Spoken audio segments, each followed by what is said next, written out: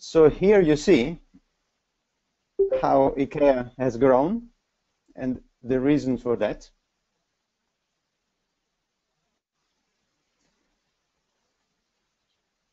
And it's important to know to remark that we have set a franchising system, which is important because uh, we operate in this way across the world. And here we have a concept owner where I work currently. It's called InterIKEA. We create a concept, we, we improve it, we develop it continuously, and it is then run by different franchisees, the IKEA retailers around the world. So they get the framework, they get the concept, and they, with their entrepreneurial spirit, they make it alive in each market, creating inspiring furniture, showrooms, uh, relationship with the customers, and all the using all the solutions that I provided from the range, which is developed by IKEA of Sweden. the product developers in IKEA Sweden use a model called democratic design in which they balance a number of factors that you see here, form, function, quality, sustainability, and low price. So their ambition is not only to make things, but to make things better.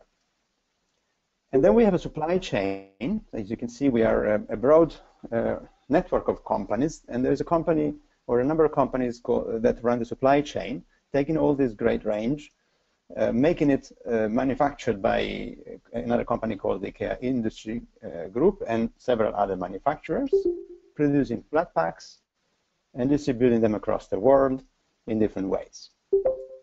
Once they reach the store, the customers take it, and of course they enjoy the experience in the store, uh, including their good food and the services and the companies and the organizations that provide uh, those services.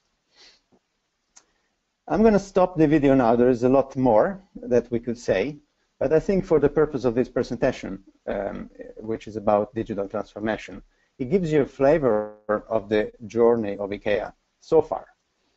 If I translate this into numbers, uh, what we see is um, a tremendous, actually, sales development. Uh, here I have figures until 2015, and, and it, we kept growing also in 2016. Um, so all this is um, is that is uh, actually happening has been happening mainly according to the model you have seen so far, which you can say is uh, is very much built on brick and mortar and on traditional and successful way. Um, if I put even more numbers, and again, this, the bold numbers are from 2015, we can see that uh, yeah we have lots of stores. Now there are almost 400 stores. We have lots of visits in the store. We have a lot of square meters and a lot of co-workers. Now we have reached more than 180,000 co-workers globally.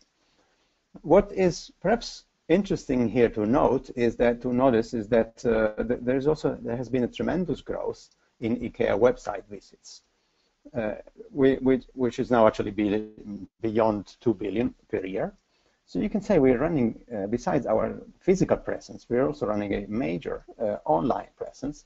And just when I joined this company uh, eight years ago, or this organization, uh, actually there were less website visits than in-store visits. And you see that now we are, you know, more than twice uh, the number in in online. So what happened? Uh, we have, of course, this is not new new to you but it, of course, uh, connects to a number of other transformations and micro trends you're all familiar with. And again, think, picture this in a couple of years ago where we were looking at all these trends, multiple speed economy, we have uh, middle income population growing, globalization, urbanization. Uh, we have also behavioral changes in the society, one of which is digital technology uh, becoming uh, a revolution, basically. Um, resources, resource scarcity, concern with health and safety, and lots of other trends. So I'm not, I don't repeat because I, I think you are familiar with them. But we started looking at these things together, and we identified five different transformational areas across uh, IKEA and beyond. And again, I'm going to flip through them quickly. One is about customer experience. Um, another one is about uh, growth potential market uh, growth potential. We have a lot of uh, room for growth, actually. In IKEA, in, in some continents, we're not even present, for example. Uh, the next one I want to highlight is digital technology, but I will spend a little bit more time on that, of course. Uh, creating an emotional bond, connecting with different people, and caring for the people and their environment. And one of these transformational areas is, of course, uh, where I focus on, and we believe that that is really, really uh, has a massive impact and a, and a tremendous opportunity opportunity for uh, for IKEA. So I'm going to zoom into that, and at that time, a couple of years ago, we said, okay, we're going to have we have to get started on this. I'm trying to yeah share with you the story of what happens happened in the different uh, steps. And so we first drafted um, some kind of a, a, business direction, which in which we would capture all these uh, phenomenal trends and changes that were happening in the society, and try to outline how to go about it. Uh, what were those, these trends? I only can give you a few examples in, the, in this very limited time. So one is the speed, the speed and the life cycle of things. So in, you might have seen this chart before. Uh, it, you know, the time it took for the telephone to reach 50 million users was about 75 years, and it would go all the way down to Instagram six months. And I uh, stopped there because, of course, uh, if I take Pokemon Go or things like that, more recent things, we're probably even talking about days or, uh, or, or, less. Um, so how can we benefit of that? How can we actually also uh, yeah, uh, pursue the opportunities behind it at the same time, keeping the core strength? uh, without uh, you know having to lose and throw away all the good things we have developed uh, so far. Another reflection, an important uh, realization, awareness here is that uh, we are not, nobody is actually exempt from this transformation. So every single uh, in industry is affected and disrupted as a reality. So you know this, the biggest hotel chain doesn't have hotels, the biggest you know car or taxi company doesn't have taxis, etc., etc. The biggest retailer doesn't have stores. So uh, at least so far. So we are all in this uh, tremendous disruption and uh, also possible opportunity. And if I'm talking about opportunities, we can. This is an old estimate of the number of billion devices connected uh, in the Internet of Things now and in 2020. And I think it's largely understated. So it says here from 1 billion to 26 billion devices. Um, so what can we do about it? I mean, we uh, claim, uh, IKEA claims to be uh, home furnishing, in the home furnishing business, a big home furnishing retailer. So how can we take advantage of this? All this data generated by these devices in every home. So it's a huge opportunity for innovation, and uh, it's not only a, a, threat of a disruption. um, another reflection is, uh, you, as you hopefully have appreciated in the short video, uh, is that we operate across a, a completely, you know, horizontally integrated value chain. So how can we uh, see and take advantage of this digitalization impact in all this, the steps of this value chain, all the elements of this value chain. Um, so one more uh, reflection, I, again, I will not be comprehensive, but one more thing we noticed is that it, it is not going to be enough to just continue our uh, traditional way of developing and, and um, yeah, creating new products. We need to be more curious and experiment in a different way. Um, we also realized that we could we cannot do this alone. We are part of an ecosystem in which we want to involve as many parties as possible and engage with them instead of trying to control every single step of our value chain. Um, and then one more uh, item that we, one more thing that we never actually want to lose is our vision. So we actually reflected a lot about, is this still valid? for IKEA to, to focus on creating a better everyday life for the many people, which is our vision for many, many years.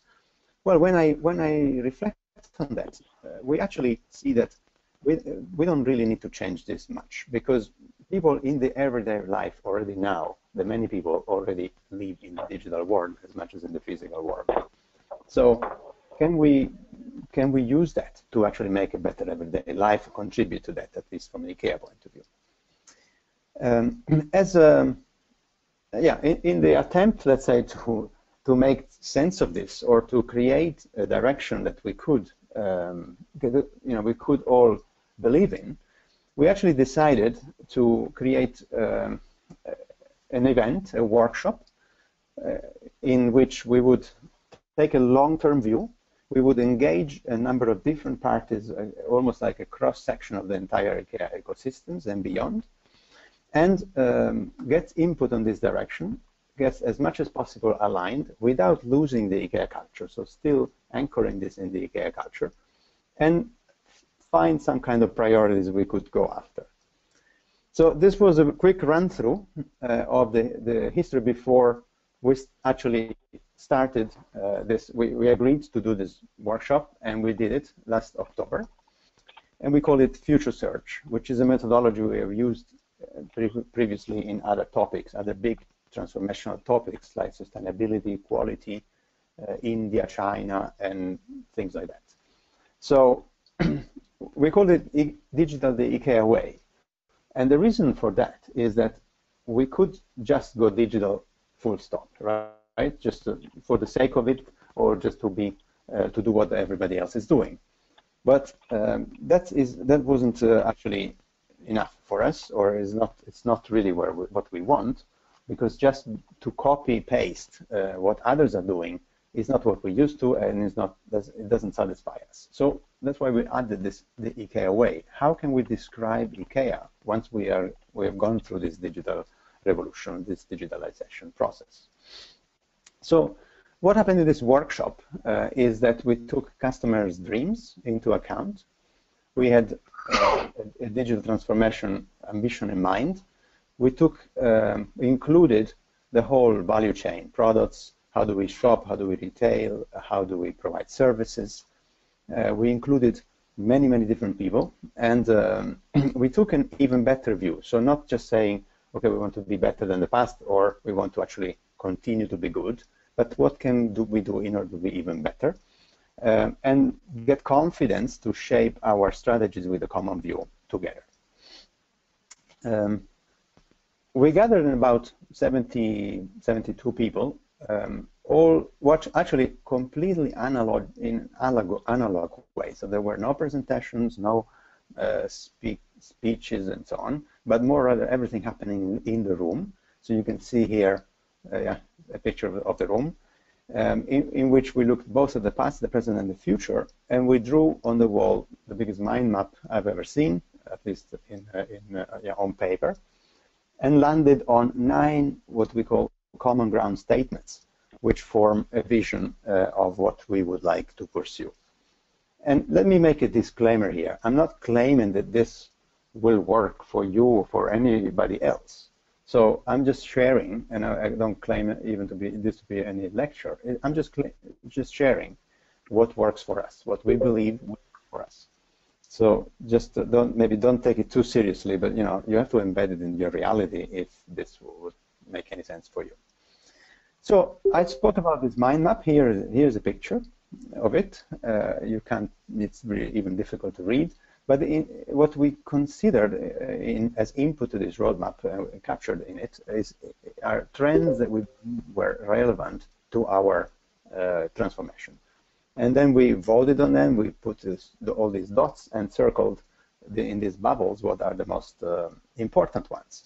And in order to make it a little bit easier for you to read, I summarized those seven or six actually uh, trends in this chart.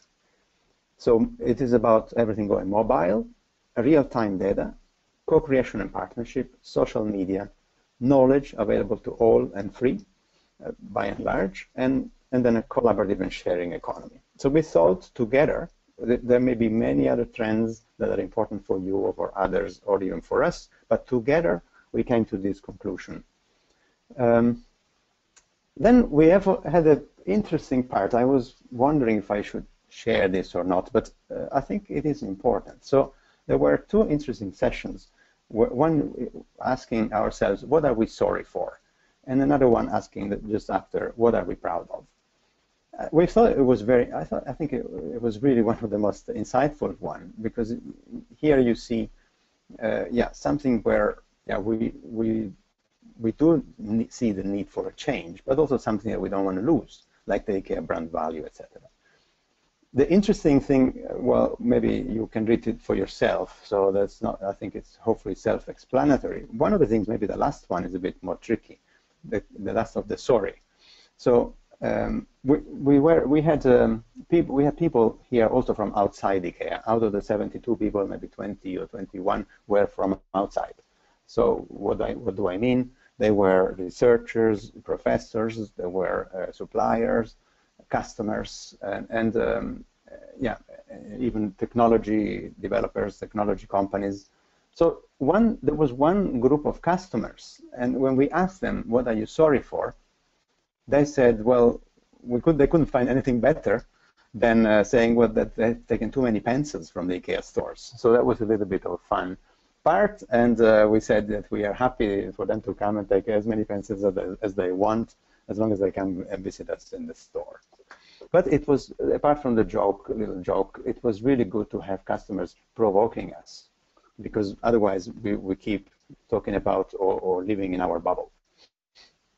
Um, then we have there were lots of debates, uh, reflections, and um, yeah, and then yeah, out of these reflections we came up with this common ground statements, and I'm going to really quickly run through them before uh, we can maybe entertain some questions. So the first one was ecosystem.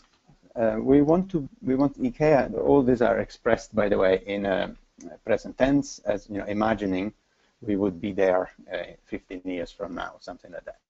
So IKEA in 15 years, imagine, is at the center of an ecosystem, enabling many people to live the life they aspire to. This, for us, was a big movement because we, we, we don't feel that we are there now. And that's, uh, and that's a change we, we wish to, uh, to pursue. Um, the second one was more of the many. How can we reach really more of the many people that we um, aim for.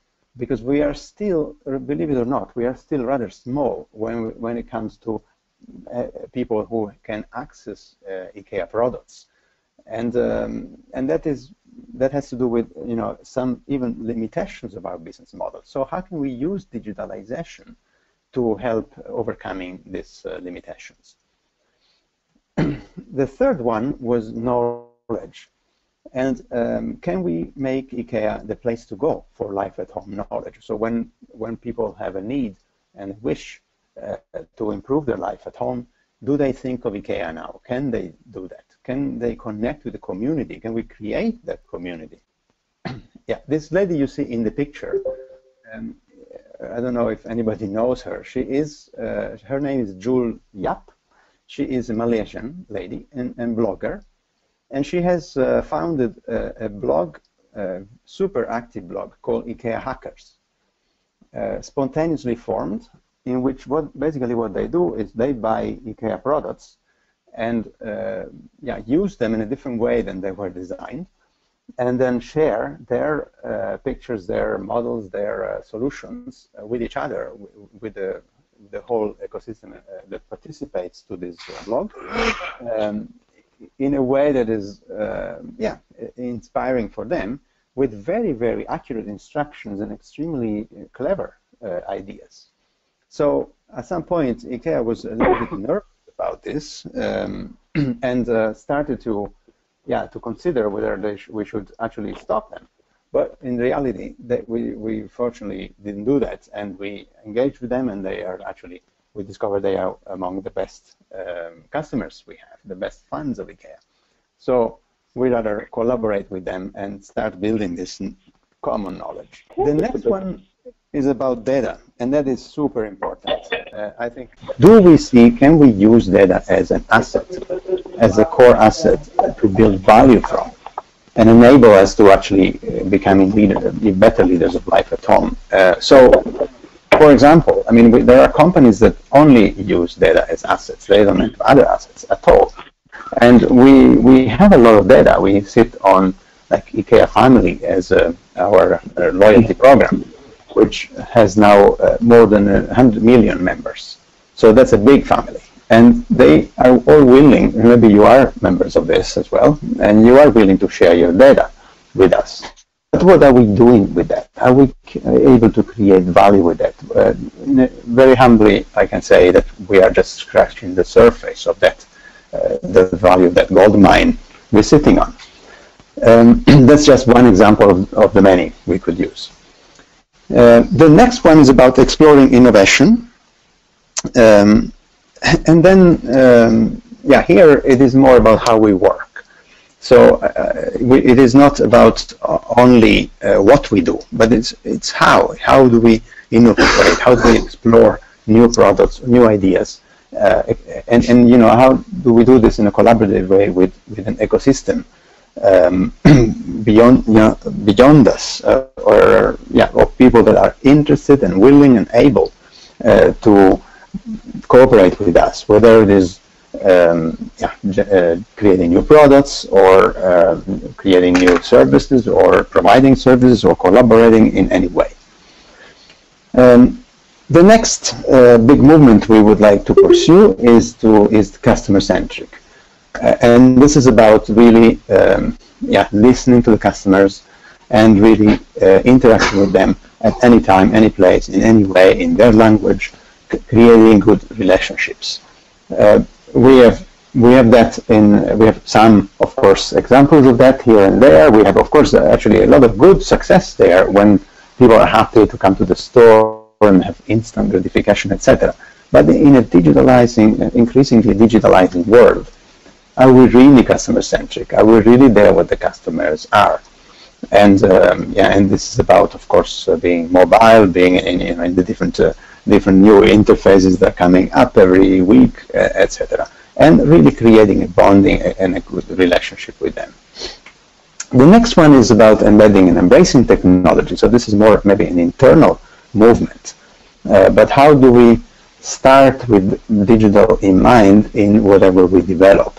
When we develop, for example, new products, a new kitchen or something like that, uh, we, we seldom we, we seldom think of digital in an uh, early stage. We, we normally develop the kitchen first, and then we see what else we can add to it in the way we sell it, in the way we I don't know market it, or uh, uh you know with add-ons with um, only devices or fringes uh, things things on the fringes on the edge of the kitchen. But if we would start immediately with digital in mind, we'll probably develop even different kitchens just to illustrate with an example what we meant, uh, the, the, the, extent to which we, we want to cover, let's say, this, uh, this topic.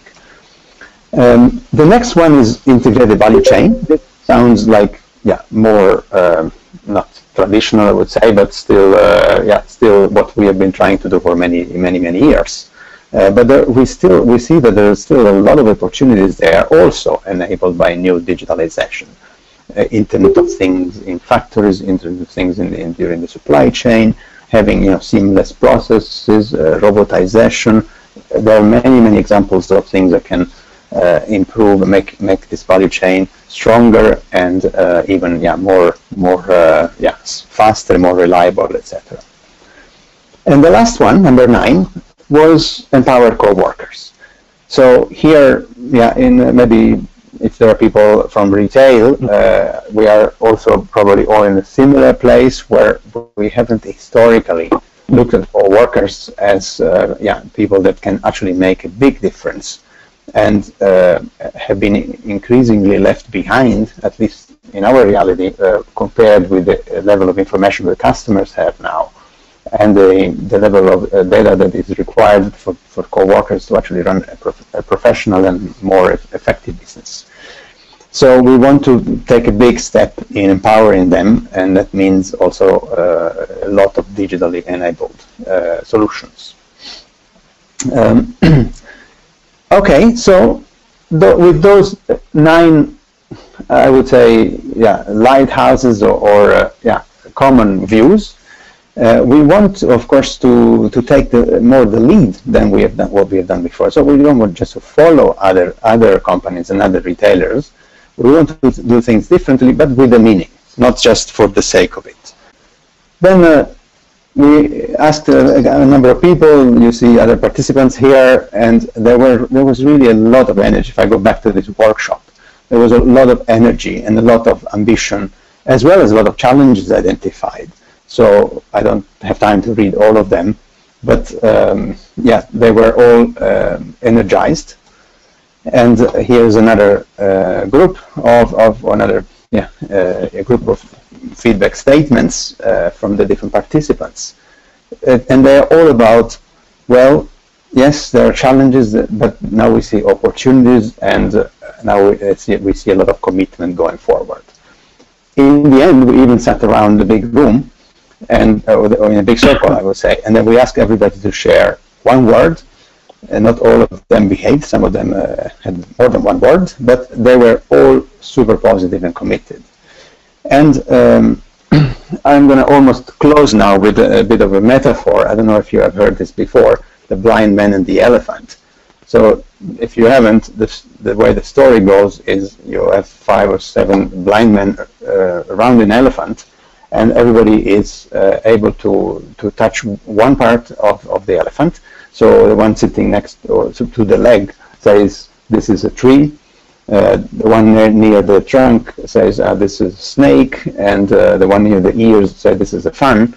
Uh, so the idea is that they were all wrong because they were looking at one part of the whole of the entire system, but when when they share what they perceive together, uh, only at that point can they describe that it is an elephant. And then, so everybody is right in uh, his or her perspective, but together they are better in identifying what really this thing is. Um, we also realize that there is, uh, this is one of our old mantras, that most things remain to be done. It comes from our founder. And we, so we realize that there is a long way to go. But uh, we want to start. We feel strong that now we have a, stronger alignment. And you know what? This already happened a few months ago and uh, things are actually already in motion. So even by just getting together and aligning on some uh, visionary statements, we, we saw a, a, movement in action. And, um, and this is fantastic to see. People are, take, are more encouraged to take initiative, and they are um, yeah, taking, taking steps to make them real. So with, with, all this, of course, uh, it's only the beginning of the journey, as we see. Uh, but at the same time, uh, we are um, yeah comfortable that uh, at least for IKEA, this way will work better than having uh, maybe a top-down, top-steered transformational process, which will uh, yeah in the end be too slow if we wanted to go for that for actually the challenge we have ahead. That was my last slide. Thank you, Paolo. Let me start with uh, one question. Did you or IKEA determine any KPI, key performance indicators, uh, in order to see whether you're still on track with um, digital transformation and, and, the end goal that you um, have in mind? Uh, the short answer is no, or not yet. Um, and the, then, then if you ask me, should we have some KPIs?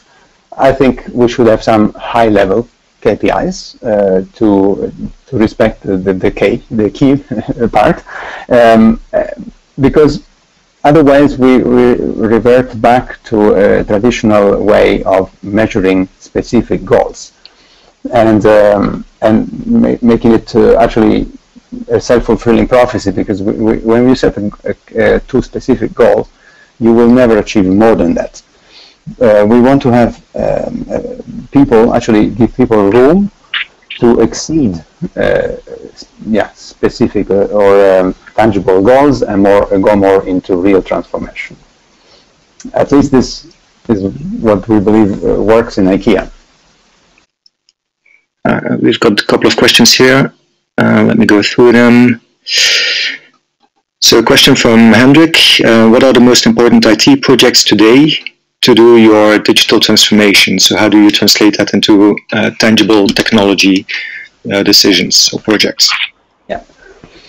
So Uh, good, good question. Good, absolutely good question. So uh, first, there are a number of things that are already going on. Uh, let's say even before we we had this workshop. Uh, so, for example, multi-channel we, is, is, one of the biggest investments we have ever done, and we are right in the middle of that program, uh, opening up uh, more and more channels and connecting them together. Ma making them available to customers and contact centers and people in co-workers in the stores so we have seen our e-commerce business uh, growing in more and more countries and um, in volume uh, dramatically. In fact, more more than our, bigger than our KPIs. I remember uh, a few years ago we set a goal that by 2015 we would have 5% uh, of our business on on e-commerce, and by 2020 we would have 10% and now we are uh, already we have already exceeded the 2020 goal. Uh, now I'm not, yeah, you know, super proud of that because uh, maybe maybe the goal was a little bit uh, from a denial point of view, or was uh, uh, yeah conservative. But I'm happy that they are that you know they are succeeding with this program and they are finding ways of both changing our let's say platforms and at the same time um, grabbing the opportunities here and now. Uh, so the, that's always important, not to just focus completely on, on the new without uh, yeah without keeping enough attention to the current uh, business.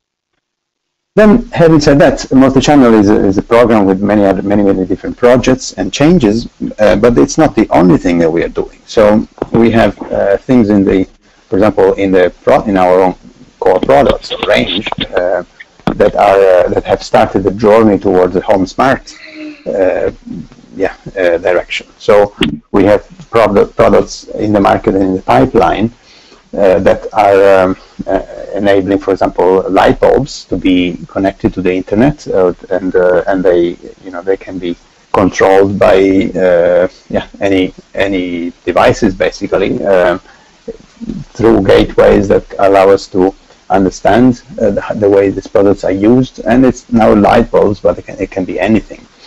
So uh, there's a lot going on. We are playing, experimenting with digital reality, with conversational interfaces. We're experimenting with 3D printing. Yeah, a little bit everywhere. Uh, so I could, I would say, uh, if I use a, a two by two uh, between energy and structure, we have now generated a lot of energy um, and, and we have limited structure. So you could maybe call it a, a definition of chaos, uh, perhaps, yeah.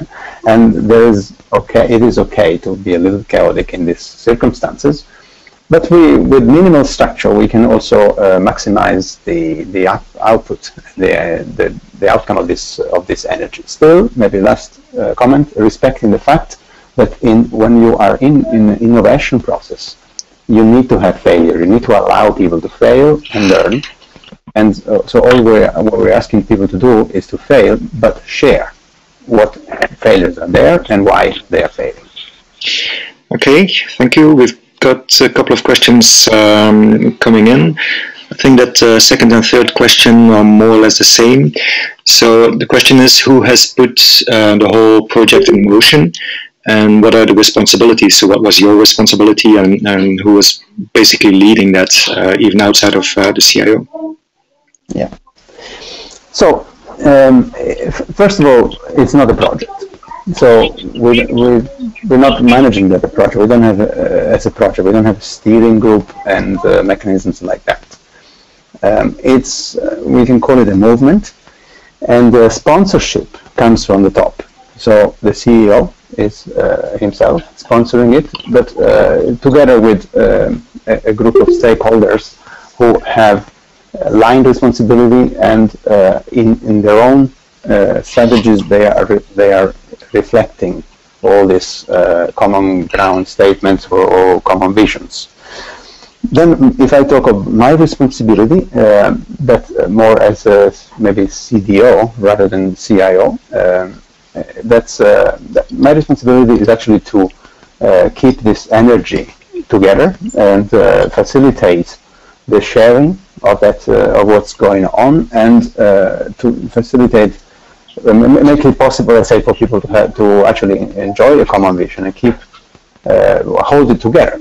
That's that is the that is my role actually here. So yeah, I, I, I don't have a, I don't want to create um, a, a, bottleneck of uh, you know a digital lab where everything is developed and so everybody that needs something digital has to come to me and ask me and my team uh, to develop the solution. Uh, on the contrary, we actually would like uh, every IKEA organization, could, this could be peculiar in the way IKEA is structured with a, as a franchise system rather than, uh, uh say, a, a, single group of companies. Um, yeah, so they, they, they would, uh, we encourage them to develop, to innovate, and, um, and to share what they do, what they find, their learnings. It's a different way. I'm, I'm not, I mean, I come from uh, other companies where this was not the way of working. So I'm not saying that uh, this can work anywhere again, but um, it's um, it fits IKEA, and perhaps there is something in there to be learned because uh, it's um, it's more clo it's closer to how um, other companies that more um, that that were born uh, more as recent startups actually operate. Because if I think of Airbnb or uh, yeah, the Facebook and things like that, uh, they actually do already operate as ecosystems. They don't develop everything. They actually create platforms, and then the, the developments are done by the ecosystem. So can we emulate, can we uh, learn also from that and try to, even though we are a big organization, can we work as if we were uh, a little bit smaller? Okay. Question from uh, Kun van Loo. Um, how do you look at the return of investment of the, the projects? Uh, do you have anything set up front mm -hmm. in terms of ROI? Yeah, each each project we haven't actually changed uh, the the return of investment approach we have had uh, or the business case approach we've had uh, for uh, projects before, and this is this applies to the big uh, projects uh, like multi-channel, the big where there are big investments and there are specific goals, etc. Um, what we ha have added though is a different view at the innovation process projects, and I think I'm sure you're all familiar with the du dual governance and um, yeah, uh, you know, dual speed or bimodal. There are there are similar definitions uh, of that. So in this uh, second mode, uh, if I put it this way, uh, we have had to create different criteria, different uh, approaches. And so we give people the possibility to uh, start something innovative without a big red tape, uh, without super complex um, yeah, calculations, but more with one A4 or two A4 pages where they, they would describe what they want to try and um, you know, and they have they have a, faster way of, of getting funds for that, for getting budgets. So this this um, is perhaps uh, yeah different than in the past, uh, and we, what we are also experiencing there and, and uh, taking care of is that once once they find something useful and scalable, that we have a way to uh, put them into the mainstream, and uh, not necessarily the same team, but hand it, they can hand it over to uh, parts of the companies, uh, the company that um, is able to, yeah, the parts that are able, let's say, to scale it up. Mm -hmm. I think the, the next couple of questions are a little bit similar, uh, and they're about the assessing the impact of uh, digital transformation on the organization, so the IT organization, but as well the overall organization. Um, so, what is your view on that? Yeah, yeah, yeah. Um, if I start with the IT organization, uh, the, the impact is actually quite sensi sensible or quite significant because uh, what I see is that uh, yeah, uh, many many people in different roles in uh, IT are actually starting to be curious and interested uh, to yeah to different ways of working uh, faster, cutting cutting maybe some corners, using more cloud, using mobile. Uh, in fact, some of them are actually going back to the to their roots almost. So, I've, for example, I I know I sponsored co-sponsored together with some other colleagues um, a, a watch or yeah, uh, what an event and, and a series of events where we involved uh, IT architects on a voluntary basis, and they they went through an innovation cycle uh, in which they actually could create prototypes.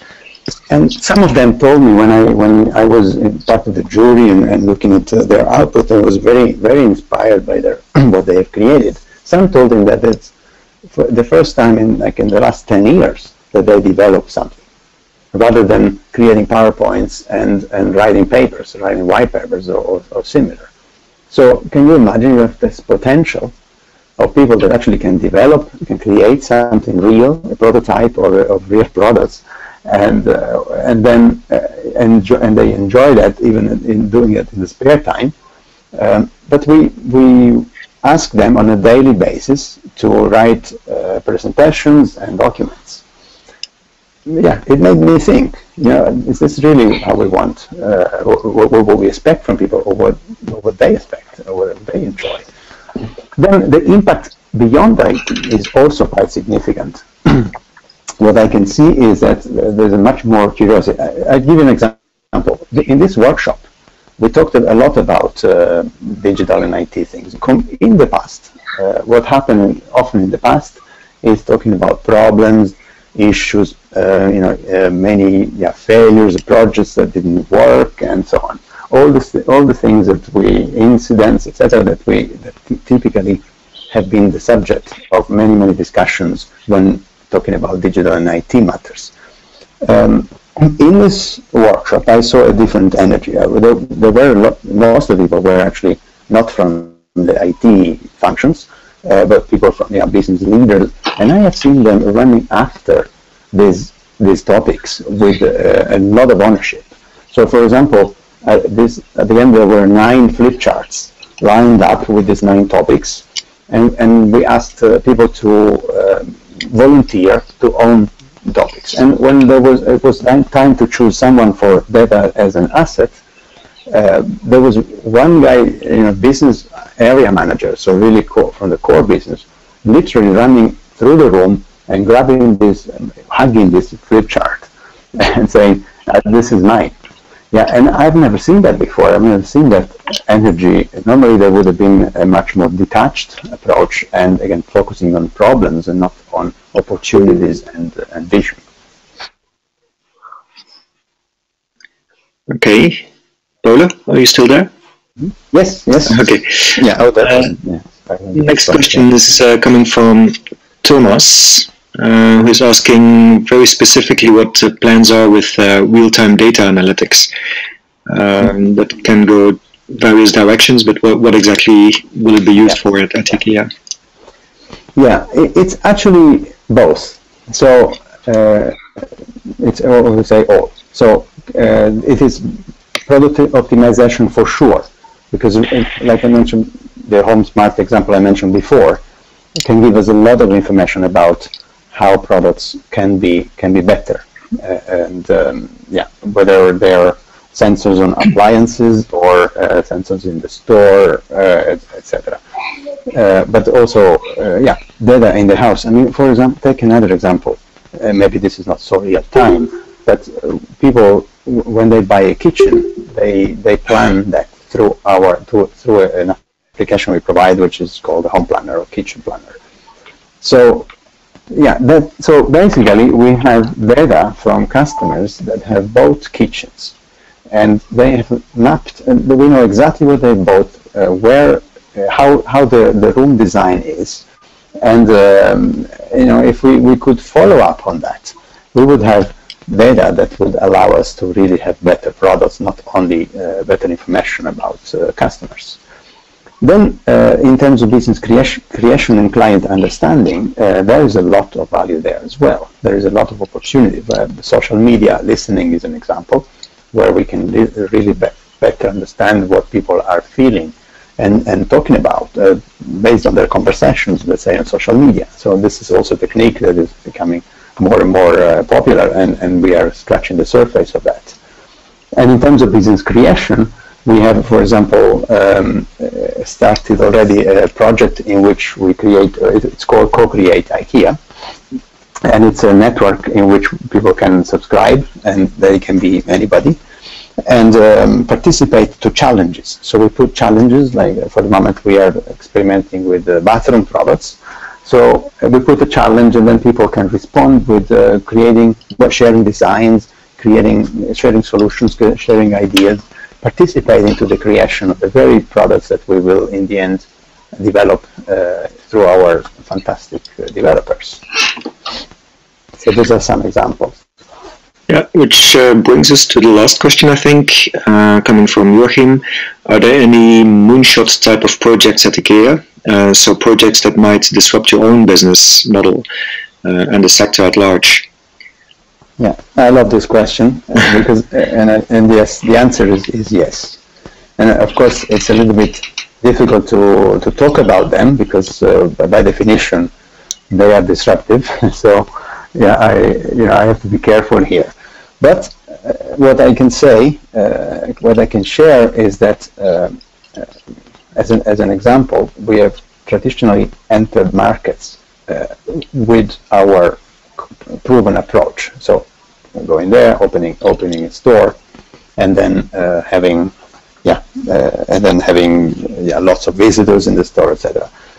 That takes, that is great, it worked so far and it still works, but it also creates a major uh, yeah, effort before you can enter market. And it might sound, sound yeah, uh, no, no-brainer uh, to some, but uh, for us it, can be a major change we were to enter a market in a different way. And I, I have stopped to, stop to stop there without saying too much, but I, I guess you're all uh, clever and, and, you understand that. Yeah, uh, you know that means uh, using yeah different ways, different logistics, different uh, even sourcing products. And uh, to some extent, we actually are already sourcing now through social learning, which is a fantastic way of, of creating products with small means uh, with a positive impact on the on the population.